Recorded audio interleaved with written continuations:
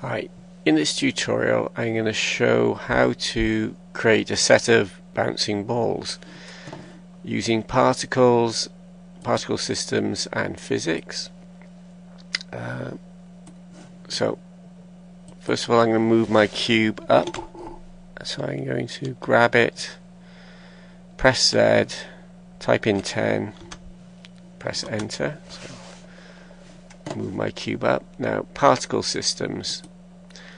Uh, very handy for explosions, um, but you can, in this tutorial, I'll show you how to replace a particle with any object, uh, which creates interesting effects. How useful it is, well, who knows. Um, so, main settings for particles, are, uh, particle emitter are here.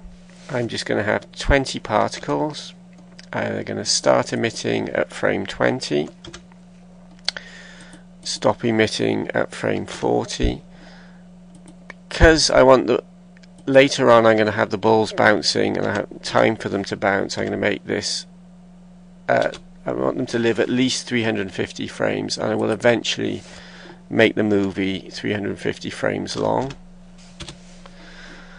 Okay have I got particles? Let's have a look yeah, 20 particles being emitted from the cube. Doesn't have to be a cube, any object can emit particles. Okay, that's particles.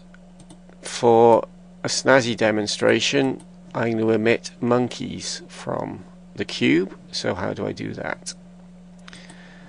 Um, let's add a monkey.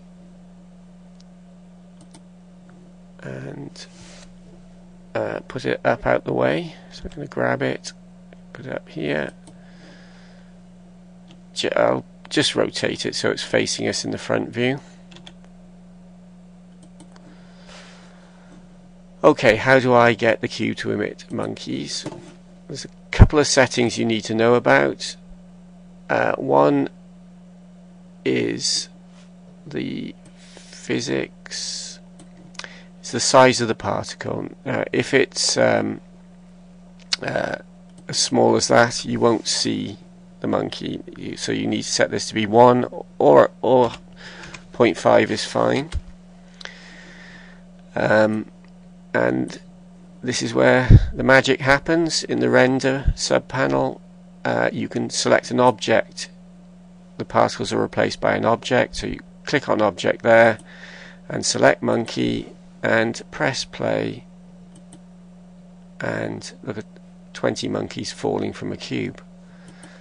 Impressive. I don't know how useful it is, but it's impressive. I want to have uh, balls bouncing, so I'm going to add a UV sphere to be my ball. Let's move that up out the way. When we render it, we won't see any of these at the top, we'll just see the balls bouncing. Back to my cube and uh, well, we're in the right place. We're in the particles uh, properties and down to object where it says monkey. If we replace that with sphere and we press play, we now get uh, balls. How do we get them to bounce? Got to add something that they will collide with to bounce with, so I'm going to add a plane. Uh, scale,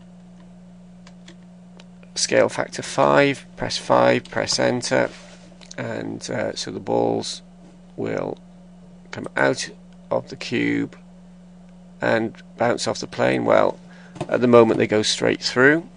So with the plane selected, I go to the physics in the properties panel and collision I add collision and that's all you have to do. Rewind and play.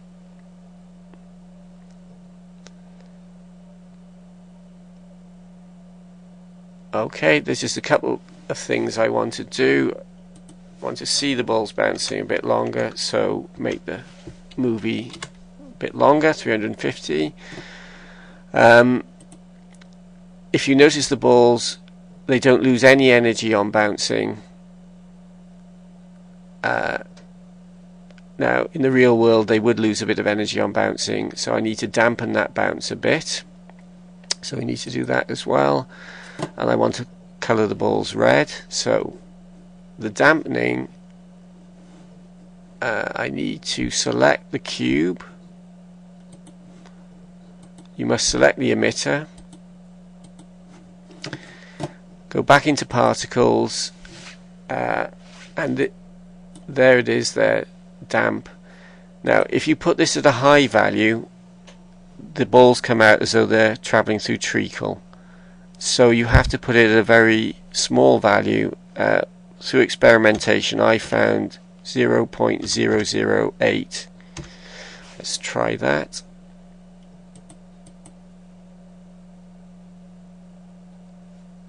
so they bounce quite high but there's a definite dampening effect. Okay, I want to make the balls red, so I select the ball and go to material, add a new material. I'm going to be a good professional person and name my material red ball material and make it red go to diffuse put the red on full put the green down and the blue down and press play. And there I have red balls bouncing. As they bounce some of them bounce off the plane and fall into space.